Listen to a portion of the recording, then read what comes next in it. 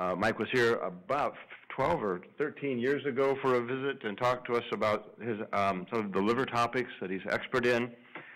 Uh, he got his undergraduate degree from Stony Brook and then uh, left New York, where he's a native for the great city of Chicago, University of Chicago, where he got his MD degree.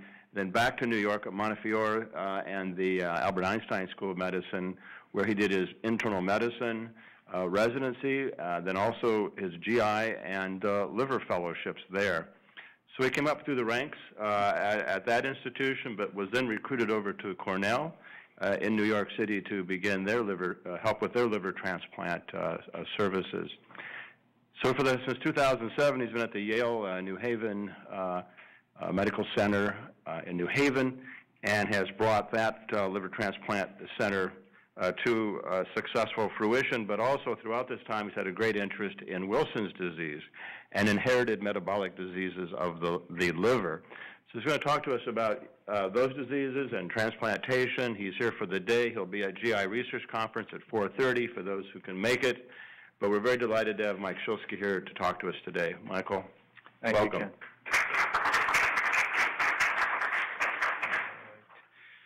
so good morning, everyone. And uh, I hope to share with you some of my interest in transplant, but also really thinking about it in terms of what do we do about some inherited metabolic disorders of the liver and how does it fit in. And this has been a, an area of interest of mine in that this is a sort of a subset. For many years in dealing with end-stage liver disease, we were flooded with the world of hepatitis C and alcohol and, and years before gallstone disease. And the metabolic corner was this little group of us that used to get sort of uh, put in the corner at our national meetings. And I think now that some of the other diseases have been solved, uh, we're starting to see sort of the rebirth of some of the inborn errors and also some of the acquired metabolic diseases and sort of thinking about how they fit into our practice. Uh, we, have got a little bit more bandwidth now that we're not pressured by all the uh, dreadful treatments that we would inflict upon our patients in trying to eradicate the viral hepatitis. So it, it's really been a, a, pleasure. And I used to, uh, you know, joke about people sitting in the back of the room for some of the talks saying, okay, you know, someday this may become important to you, wake up. and so I think the day has kind of arrived now. Uh, just some uh, disclosures. I will uh, not so much talk on this talk, but later in the day talk about some of the off-label use of some of the medication. All right, so today I hope to accomplish uh, talking a little bit how transplant fits in in the world of inherited metabolic disorders, especially those that have their basis in the liver. Talk about timing a little bit. As they say, timing is everything. And that also where we have to consider at times whether or not just the liver alone is adequate and whether we have to consider other end-stage problems that may occur in other organs so that we may need multi-organ transplant to actually achieve a best outcome for our patient. All right, so this is something that we've come to accept. When I was a medical student, resident, fellow, it wasn't so easy to accept because liver transplant was just being uh, born under Starzl. And uh, in fact, it was almost aborted multiple times if you look at the history of liver transplant. It had a very difficult birth. Uh, but certainly now the uh, ability to fix failing livers uh, by transplant is extraordinary, and our expectation is no longer that it's going to have an average outcome, it's going to have an exceptional outcome with better than 90% one-year survival and the five-year survival is moving up above 80% as well. And I think we're going to see trends towards improvements in longer-term survival as we start to think more carefully about organ allocation and life extension benefit as opposed to just this sort of one-year survival metric, which a lot of the programs think about now.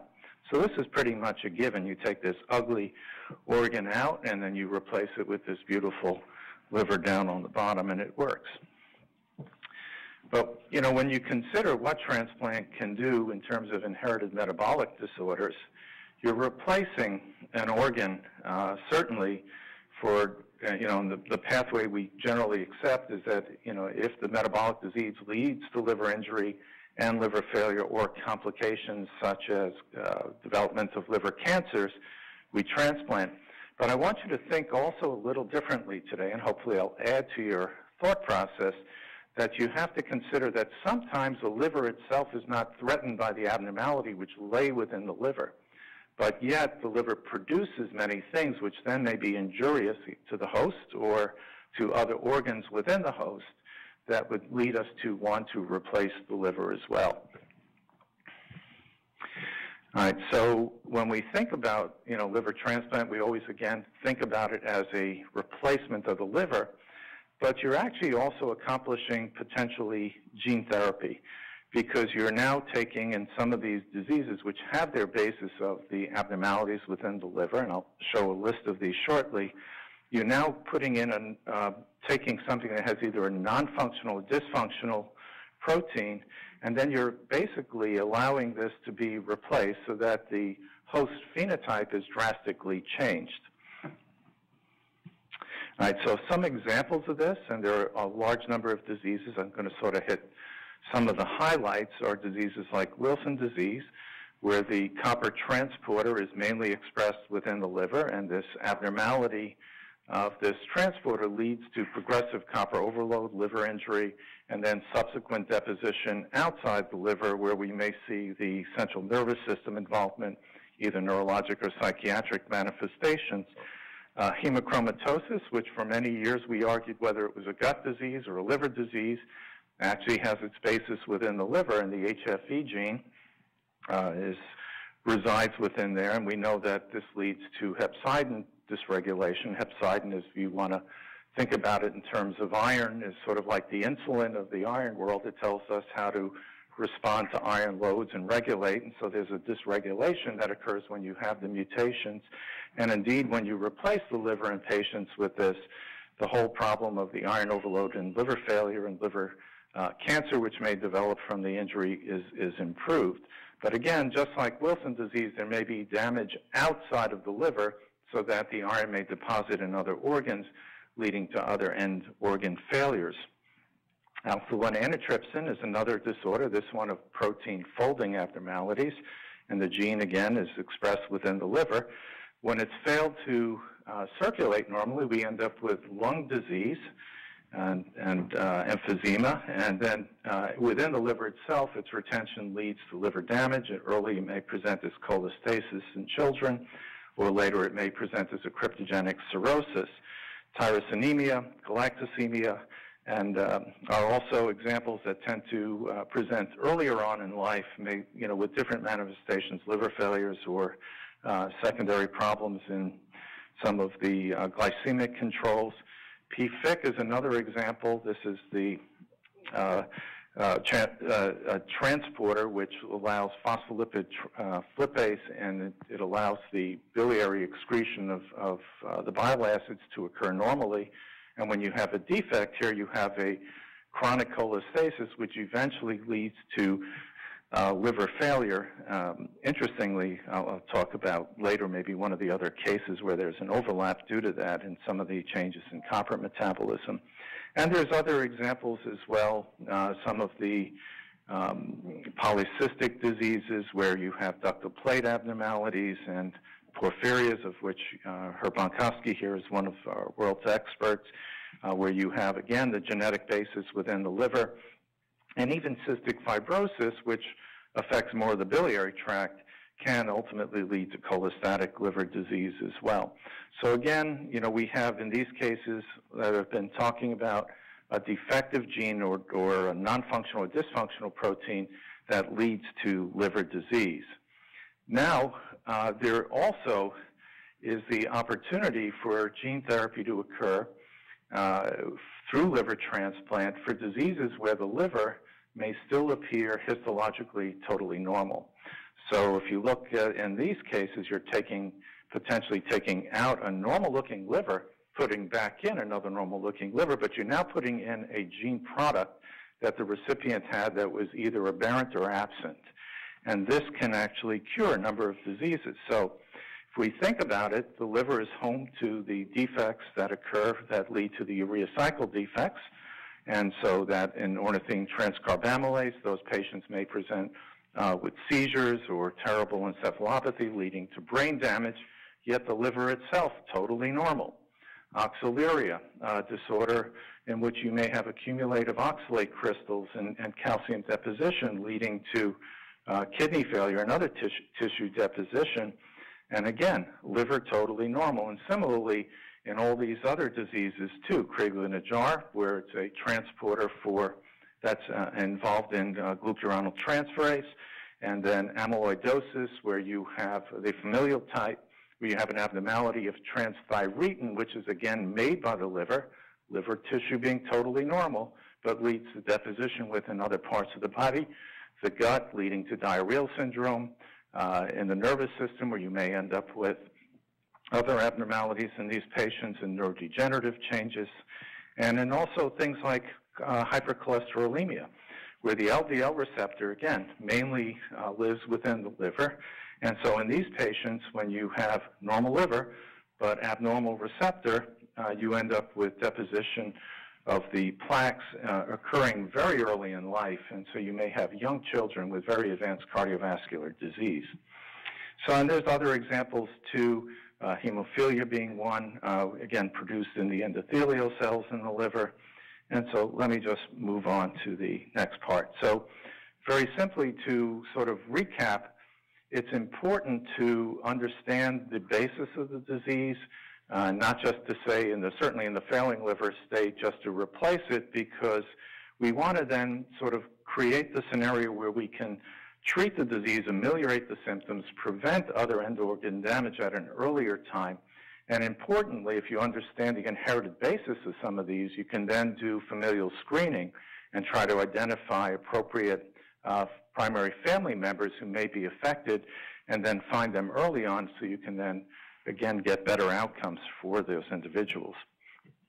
So the timing may be critical. Again, in some instances, especially those that lead to uh, damage within the liver cells, DNA oxidative injury, such that occurs with iron and, and uh, or other uh, promoting uh, turnover in cells like alpha-1 antitrypsin, you can have development of liver cancer again. So timing may be important.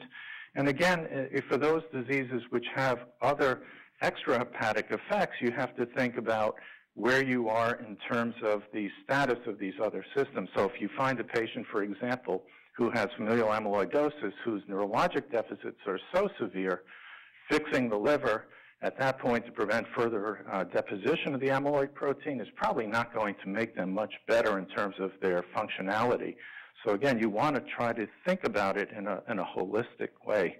Now, in the pediatric patients, and I'm always uh, love dealing with my pediatric colleagues because they have an added thing to think about, which is the growth and development of the young patient, which is some aspect that we don't always fit into our algorithm in the, in the adult side of things. So they're always worried about timing for uh, doing things that will allow best nutritional status, best developmental growth, and as well as obviously quality of life issues. So if you have injury to these other organs that are irreversible, uh, and certainly if they're organs that we can replace, we haven't figured out how to replace the neurologic system for those, say, who have familial amyloidosis, but if they have kidney injury uh, that's irreversible, it's not so uh, far out. In fact, we do this not too infrequently. We replace both the liver and the kidney together. And similarly, if you have other organ damage, such as uh, cardiovascular, you sometimes can do heart transplant simultaneous with liver and or with kidney as well. So these are other considerations you have to decide, you know, whether or not that individual with the disease that you're considering liver transplant for is better served by dual organ transplant or not. Uh, one of the reasons not to do it, if you don't have to do it, is obviously we have a waiting list in each organ, and we have a shortage of organs, and so certainly we want to be best stewards and give it to those who only are going to need it. It doesn't do any good to have you know somebody with three functioning kidneys after a transplant, uh, which happens sometimes, and uh, you know certainly those on the kidney waiting list are not very happy about that. So we have to be good stewards. So let me jump into some cases. I think this will kind of highlight some of the points we've been uh, talking about. So this was a 55-year-old gentleman that had insulin-dependent diabetes developing later in life and was referred for uh, transplant uh, because he had worsening uh, liver function. And his symptoms also included dyspnea of exertion and, and edema, and he had a very severely affected uh, cardiac ejection fraction. Now, diagnostically on his uh, panel, he had obviously low albumin, the INR was up a little bit, but what stood out is he had a ferritin of 1900. And so then they tested for the HFE defect, and this individual was a homozygous for uh, C282Y mutation of the HFE gene. Uh, but you should know that the homozygotes are most commonly are the patients that will be affected in hemochromatosis leading to the iron deposition, uh, but sometimes you can have compound heterozygosity as well with the less severe defect, the H63D, if the patient has uh, appropriate background and other uh, phenotypic, well, I should say other extragenic reasons for the iron deposition. Iron, iron deposition is a complicated disease because the penetrance isn't uh, 100%, and there's abnormalities in these individuals that lead them for propensity to develop iron overload. So in this individual, if you were to look at that liver, this is kind of what it would look like. It would look kind of rusty, lumpy, bumpy for that. And then this is a different cell uh, that was biopsied in him. I won't keep you guessing too long. This is actually cardiac myocyte. So he had a, a right heart cath and a, and a biopsy performed. And you can see in the blue on the right this is histochemical iron deposition within the uh, heart. And so this patient was developing severe changes of, of cardiomyopathy that was resulting from his iron overload. So he underwent further uh, evaluation, focusing on the heart, and then we started him on uh, desferoxamine and the purpose of removing the iron from that, we know that uh, transplant outcomes for hemochromatosis have changed over the ages if we can actually get good removal of iron, then they don't end up dying from cardiac dysrhythmias uh, or higher risk of infection, which also can occur. And then over time, you can then sometimes rescue the heart function. If you don't, you can actually consider doing dual organ transplant, liver and heart, although it's been years since I've seen one uh, done for this disease, and I think that's because everybody out here is doing a better job of finding these patients earlier, which is great. Let me go on to another patient now. This is a 19-year-old college freshman who suddenly developed jaundice and fatigue uh, ability and had severe anemia, and so started off in a hematologist's office uh, where they were evaluating hemolytic anemia. But, you know, it took about a week, and finally they did an INR and saw that the INR was 2, and they said, uh-oh, and let me get this patient over uh, for further evaluation. Maybe it actually needs a liver specialist. And so further testing showed that her alkaline phosphatase was very low and the bilirubin was rising. And so then she had progressive signs of liver failure as well. And so this individual, you know, had they been real sharp the first time she presented the office, they could have uh, immediately known that this uh, young lady had Wilson disease with acute liver failure. And you don't need the fancy gene tests. You don't need wait for all the copper studies to come back. You can actually look at some very simple measures. Uh, this is some data that came from the acute liver failure study group and some work of some patients that I was working with at Mount Sinai as the control group in the chronic uh, phase, and Jessica Korman, who was a student at the time working with me, we reviewed, you know, what were some of these measures in patients who presented with liver failure, uh, with Wilson disease, and those who had a control group who didn't have Wilson disease. And what we found was that we used some of the uh, reported ratios, the alk to total bilirubin that Art McCullough actually uh, beautifully had initially described, and the Pittsburgh group had looked at the AST to ALT ratio as well. And what we did is we looked for the sensitivity and specificity in our population for these patients. And it turns out this is one of the rare diseases where the alkaline phosphatase keeps going down as the patient gets sicker and the bilirubin keeps going up because of the liver failure, failure to clear it. At the same time, they have the hemolytic anemia, which is driving it more rapidly. And if you end up taking those two ratios, alk to total bilirubin, and you look at it and it's less than 4 and the AST to ALT is greater than 2.2, you can actually have near 100% sensitivity and specificity, and you can look very smart in the emergency room and say, send this patient to a transplant center. She has acute uh, liver failure due to Wilson disease. And indeed, this patient met that characteristic. Now, one interesting thing to note um, is if you look at the ceruloplasmin, which everybody thinks is a phenotypic marker for this disease, we'll talk more about that later today, um, you'll notice sensitivity for that alone is terrible in this particular uh, setting. So it's very different than in the chronic patients where sensitivity is higher and specificity is much greater. All right, so this is the underlying defect in, in uh, Wilson disease is there's problems and mutations of this particular copper transporter which lives within the liver cells and keeps copper from uh, accumulating. And so what happens in this individual, as, as I showed you, is they have uh, this defect uh, of the transporter. They lead to chronic copper accumulation, and the liver itself uh, undergoes infl inflammatory change. And in these individuals, differing from those who present in the more chronic way, something happens where their antioxidant potential just drops to the floor, whether it's a prior injury from uh, a viral illness or medication we don't often find the exact answer being the same in all patients, but there's this sudden presentation. Now, fortunately, it's only 5% of these patients with Wilson disease that do this, and it's a very accelerated course, very dramatic, and transplant cures that. So we do have indications for transplant for Wilson's in this setting in particular, and certainly for those who have end-stage liver disease that may present too late even without that. Uh, and in each of these cases, you actually can think of the phenotype being restored to normal. Because once you put in the normal liver with a normal ATP7B, copper goes out into bile, ceruloplasmin normalizes, copper that's deposited in other tissues slowly exits the body. And you can tell that because if they had Kayser-Fleischer rings, which 50% of these patients do the, from the liver presentations, they actually go away. And so you know that that's happening itself without having to you know, do brain biopsies. Nobody likes to do that. So this particular patient uh, kept getting worse. Ultimately, we did some measures to try to keep that extra copper that's pouring out of the damaged liver from damaging the rest of the organs, sustained her until she got a transplant. Now, interestingly, uh, she received the transplant from her father, who's obviously a heter obligate heterozygote for the disease, but you know we know that heterozygotes still have good function uh, in terms of copper uh, excretion. So she did very well and continues to do well to today. All right, so this is a dramatic uh, in case of an individual 13 years old, had cholesterol well above 300 at that age, and, uh, that was on statin therapy.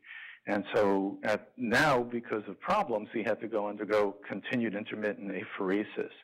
So the hallmarks of these individuals presenting early often are xanthelasma, and if you look, you can actually see more uh, advanced disease uh, within the cardiovascular system, even at this young age of 13. So there have been, uh, since I first saw that particular case, there have been much more advances in terms of how we understand some of the defects from the genetic basis, and now we can either make the diagnosis by finding the um, gene abnormalities for the LDL receptor or other parts of the pathway for metabolism of, of, cholesterol, or we can actually define it by patients who have uh, LDL fractions that are greater than 500, or when they're treated, 300 milligrams in the concert with presence of uh, xanthoma before the age of 10. Uh, and again, they can also find changes in the parents as well, which may allow you to uh, identify that. All right, so there are other um, ways of thinking about. It's a very complicated disease, this hypercholesterolemia, and some of my colleagues in the lipid field have enjoyed a lot of advances once they've sort of figured out the molecular basis, and some of these things have to do uh, with loss of function mutations that lead to, uh, you know, you have one abnormality, then it becomes dominant by affecting the other allele. And, and there's only one that was a particular gain of function abnormality. But once you have an individual like this, uh, they can be controlled to some degree, uh, but you know, again, the biggest problem, and you can see right at the beginning of the LAD here, you can see a narrowing that occurs. And this is, an, again, in a 13-year-old, so that's very scary. All right, so what happens if you transplant the liver? You're giving them normal pathways, whichever one of those mutations the individuals have. You see regression of the xanthoma. Coronary disease can reverse, and then ultimately you don't have progression. Um, there was one interesting case of a patient that was transplanted for this disorder who developed um, rejection and some cholestatic change, which probably altered the lipid profile. And that individual ended up with progressive valvular disease, which is usually not the case. Usually the valvular disease arrests where it is. If it was severe, it needs to have it uh, repaired. So again, this is an example on the left side, the xanthoma, and on the right, the disappearance after transplant. And here, I, I, apologize for the large number of things on the slide, but I want you just to focus. This is a timeline from here going down, and this is the cholesterol.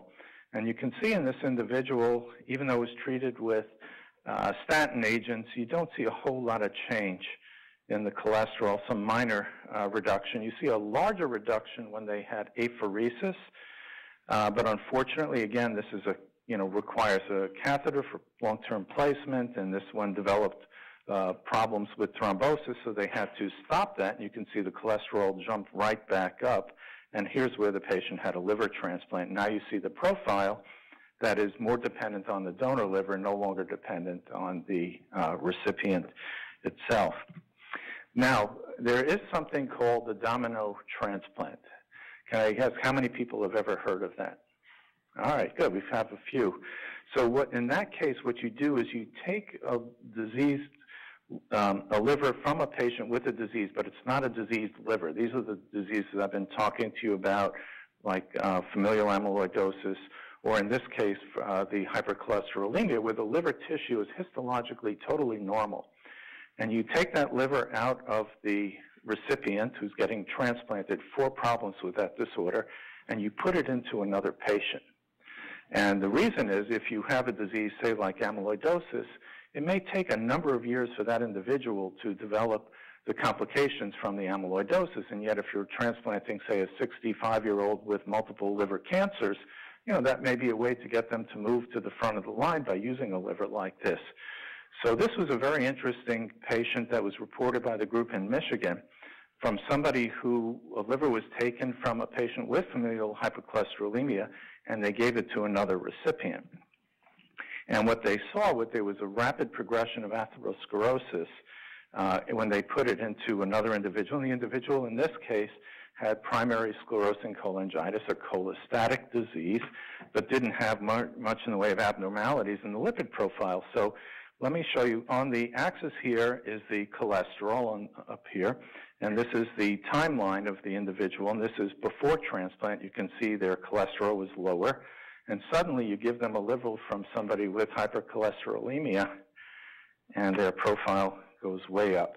Now, unfortunately, in this case, even when they gave statin therapy and some of the other antibody therapies, you know, they had a you know, they had some reduction, but, you know, this person would still be at risk with a cholesterol running around of 300 and high uh, triglycerides as well. Uh, so you do have to take that into account. Again, this is always the risk benefit of considering the timing of transplant. So an individual who may never been able to get transplanted, but who is doomed to die of their underlying disease, may benefit from something like this, even taking on that extra risk. But you do, in this case, give life extension.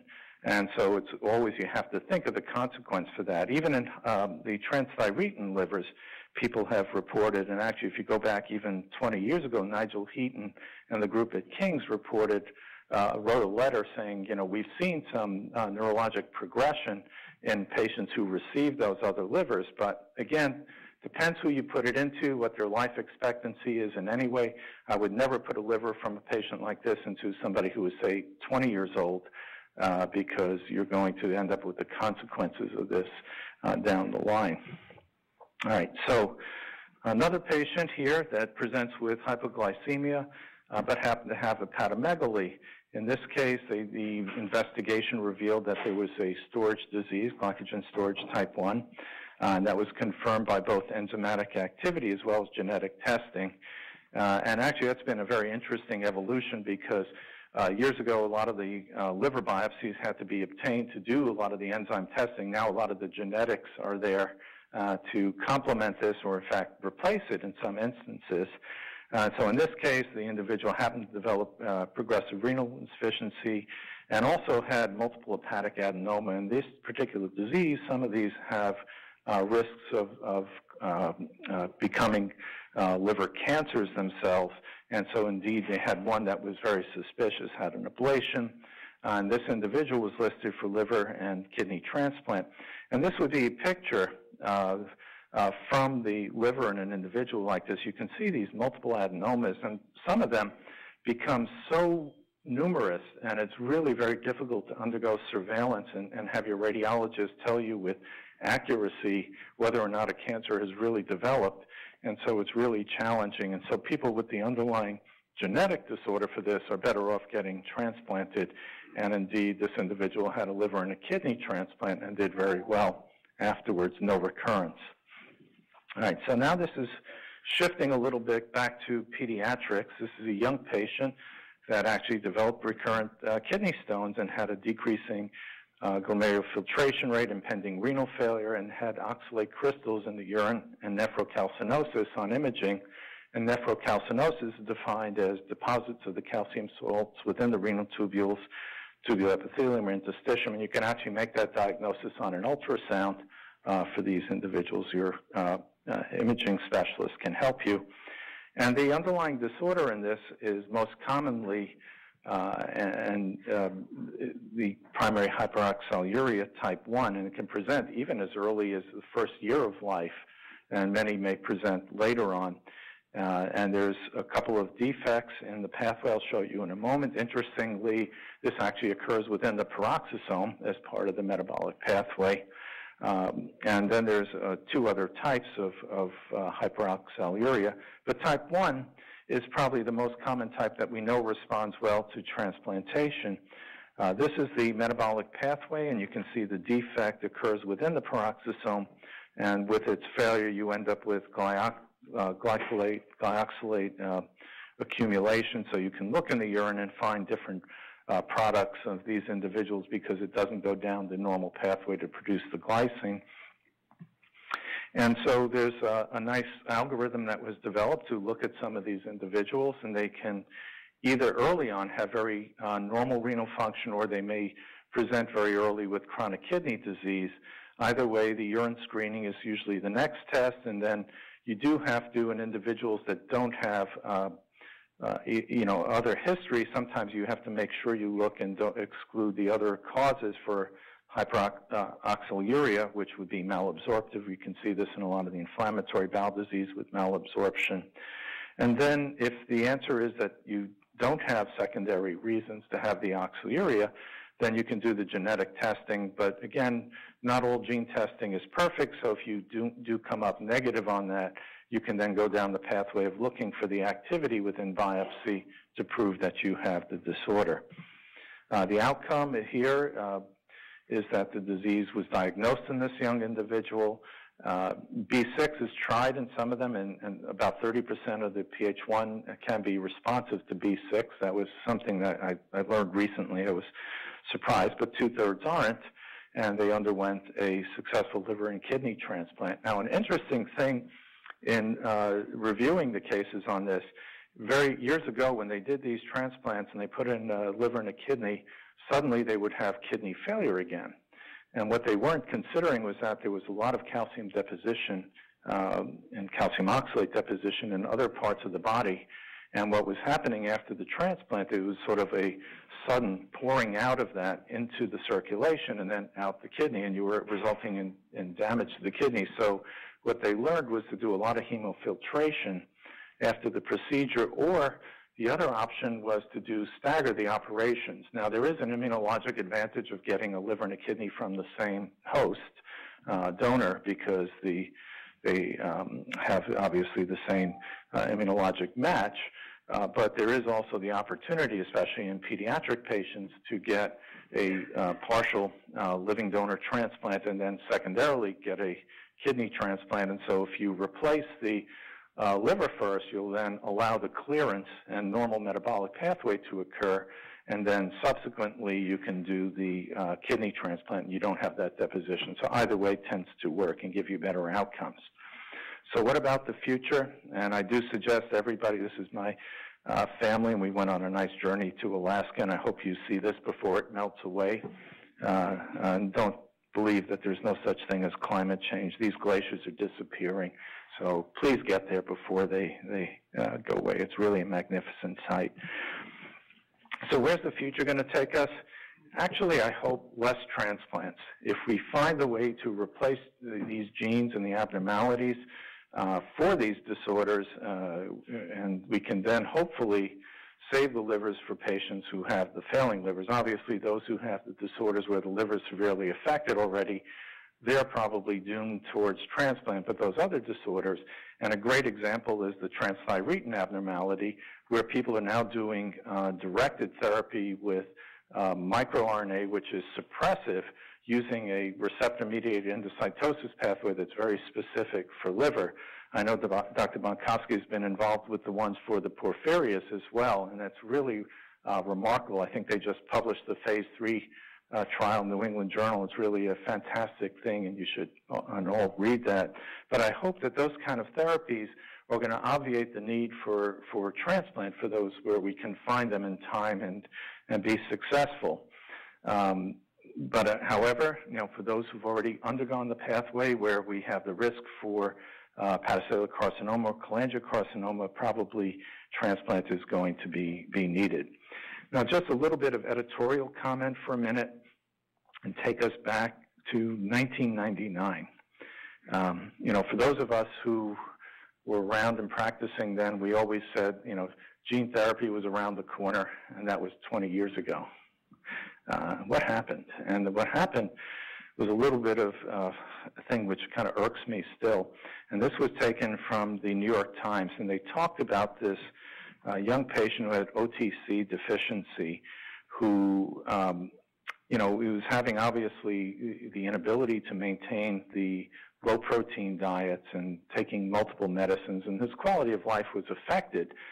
But, you know, he was alive and he was doing okay until he had gene therapy with an adenovirus, and then they basically had a terrible immune reaction and died. And this led to um, a moratorium on gene uh, therapy for many years and led to us to reconsider our consent process for disease. What you don't see here, never mentioned in any papers anywhere, is the option that they could have transplanted this kid and probably had a perfect outcome. Never mentioned anywhere. But you think about it, the defect lay in the liver, and they would have been doing their own kind of gene therapy by doing it. So 20 years have gone by. We're now at the era of gene, the cusp of gene therapy, um, and we've overcome some of the problems from that. But historically, nobody really kind of talks about this. So in conclusion, I think a lot of our understanding of these diseases has allowed us to identify these individuals, think about timing and selection and management for transplant in a much more sophisticated way than we could have many years ago. And we can now get very good long-term outcomes in these individuals because those who have the affected livers you know, suffer the slings and arrows of portal hypertensive complications, risk of, of uh, malignancy, and certainly that's all fixed by transplant. But transplant is certainly by no means easy, and patients do have to live with immunosuppression and complications, but it certainly dramatically changes the quality of life and, and the outcomes for some of these individuals. And certainly the future is going to bring new therapies, earlier recognition, and hopefully save livers for those who really will need them. So I'd like to acknowledge my colleagues at, at Yale and certainly our patients who continue to teach us. And I uh, thank you all for your attention.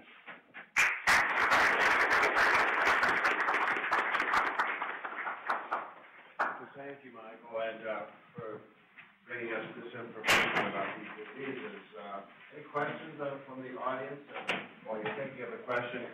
But I, I wondered, you know, as, as an internist, I mean, how do how do we all, how do uh, the internists kind of get suspicious of these, these diseases? How do they get to you?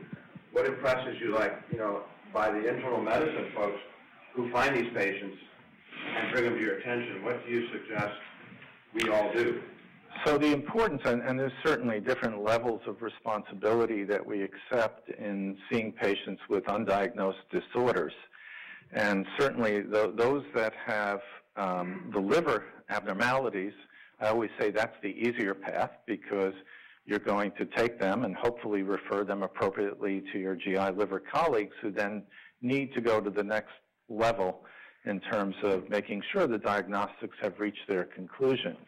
Uh, there is a very uh, uh, young developing field of, uh, for those patients who have these undiagnosed disorders of doing this sort of whole genome sequencing and looking back, and there's some rare pickups as well.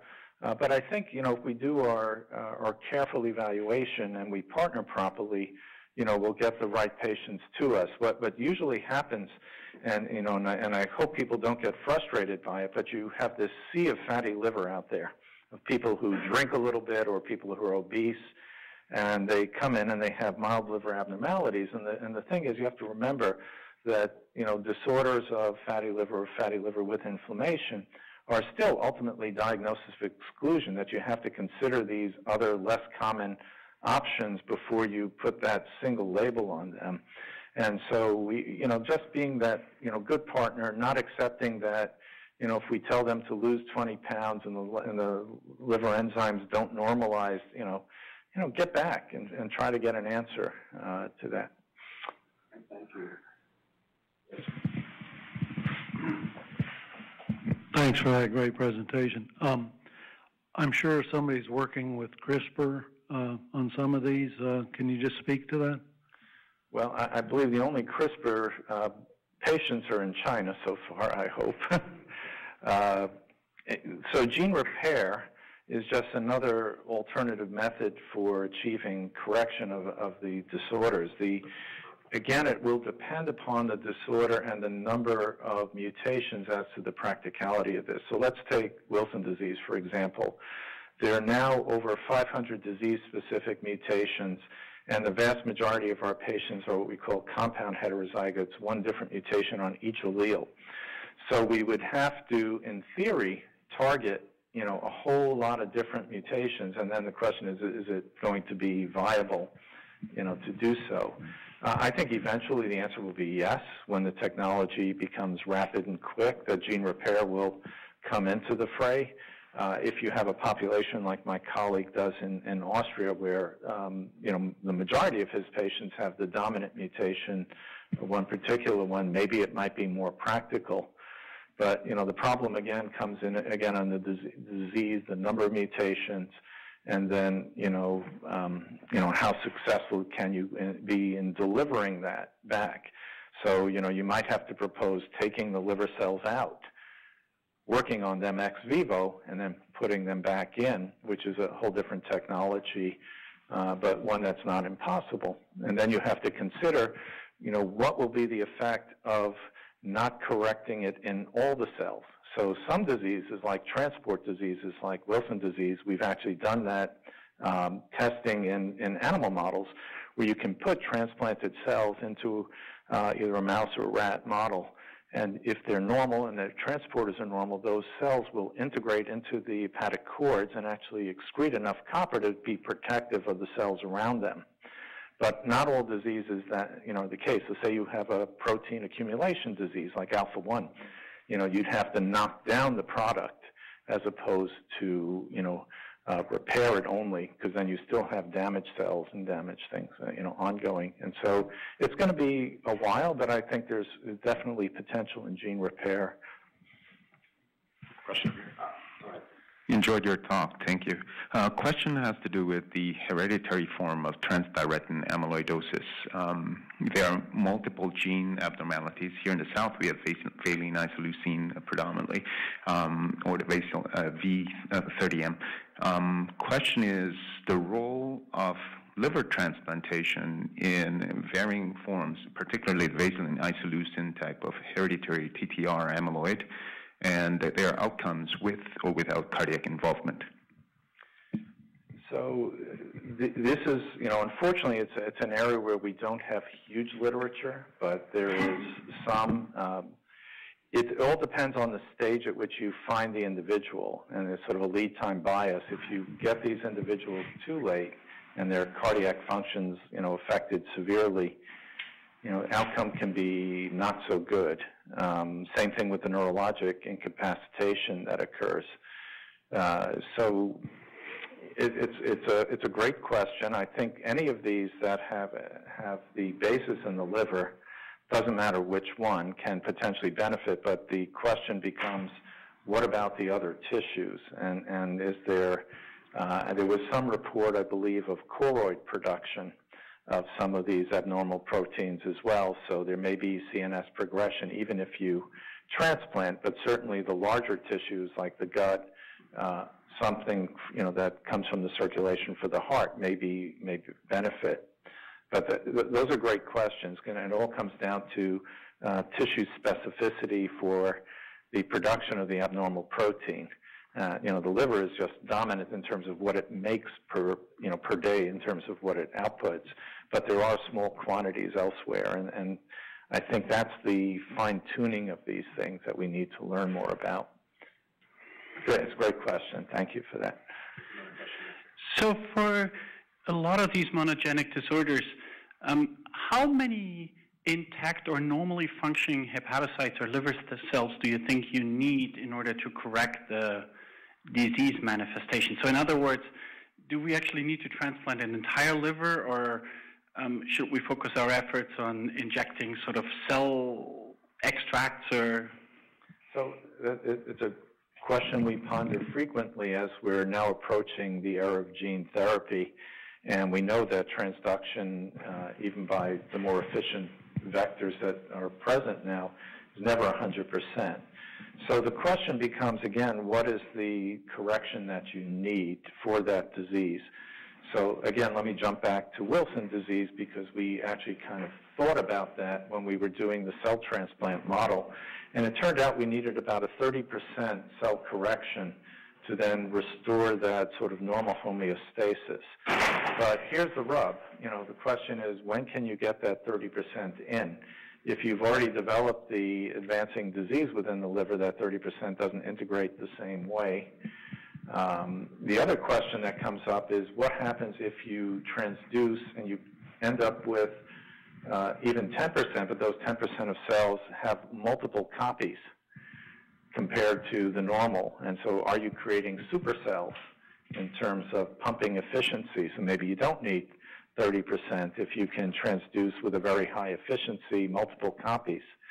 So these are unanswered questions uh, that are we're right on the cusp of trying to prove. But you know, you have to think of the pathophysiology of each disease and say, you know, you know, which diseases can you have that sink effect of, of replacing uh, versus which of those you have uh, defective protein or missing that causes damage to a cell that you can't necessarily replace. Now, if you were able to identify at a very young age the disorder, you can replace in some and then allow the normal processes to eliminate by cell turnover uh, some of the damaged cells, and then you'll have a repopulation effect with the healthy cells. But you know that still comes with a risk, because a number of these disorders you do have DNA oxidative injury and risk of carcinogenesis. And so uh, a good example is like PFIC. There are cases that are rare reports or that I know from colleagues where you have uh, cholangiocarcinoma develop. So are you, you know, when you find the rare cases into adulthood, you know, are we better sitting around on these and, and treating them with urso, buying time, or are we better transplanting them earlier? No, nobody knows the answer to that. You um you touched on one thing that's a clinical question I actually had about hemochromatosis. And do you have a standardized protocol to approach elevated ferritins when you talk about transplant and concern? I mean, when I trained, we didn't routinely do heart biopsies. I mean, I know it's a unique case that you're presenting, but do you have a protocol at blank level? We do cardiac MRI or something else to exclude potential patients who you think be, or do you ultimately, if you're going to make that call for a transplant, do you actually do a, a cardiac biopsy?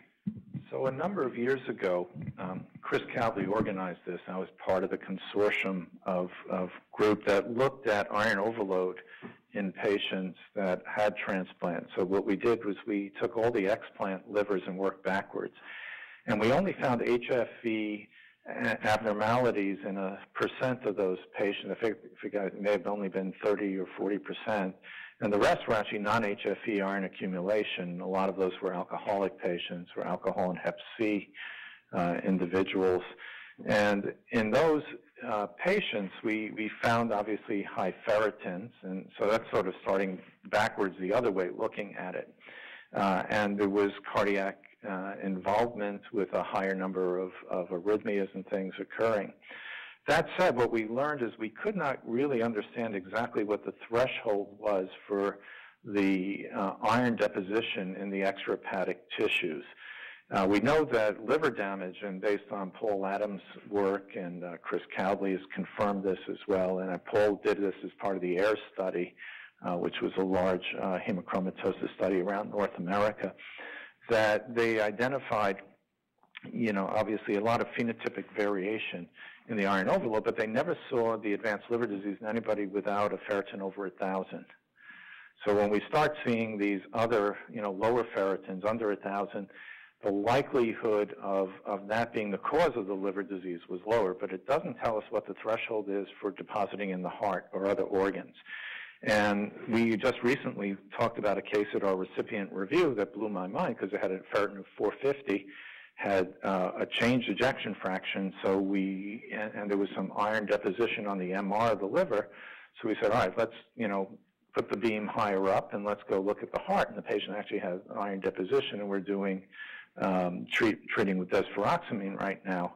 And so that, you know, that was an exception, and I've not usually seen it in patients with that lower ferritin. I, I know the group out at UCSF um, years ago, I don't know if they ever completed the work, but they were trying to uh, look uh, systematically, doing a lot of testing, probably more testing than anybody would want to do on these patients. And I don't know if they ever came up with an exact answer. But I do know when the, certainly when the, you know, is it relevant if you don't have an ejection fraction change? And the answer is maybe not, because when you do take the liver out, you're now, you know, instantly providing, providing a new sink for ferritin, I mean, for the iron that's in transit, and, and the iron really drops dramatically because you're taking out that huge store that's in, in the uh, liver. And so those patients correct pretty quickly. But um, you know, certainly if we've identified it uh, as a change in the ejection fraction, we do get cardiac MRs on those patients, and if we see iron deposition, they, those are people that are uh, treated with chelation, and we follow their functional status, you know, very closely.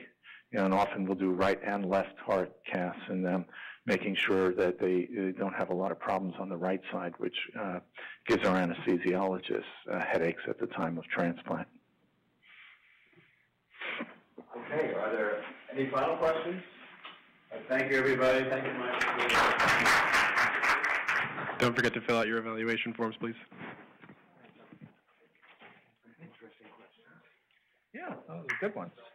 The, actually, a very sophisticated one from the gentleman on the heart. Yeah. Thank you. Hmm, good question. Yeah.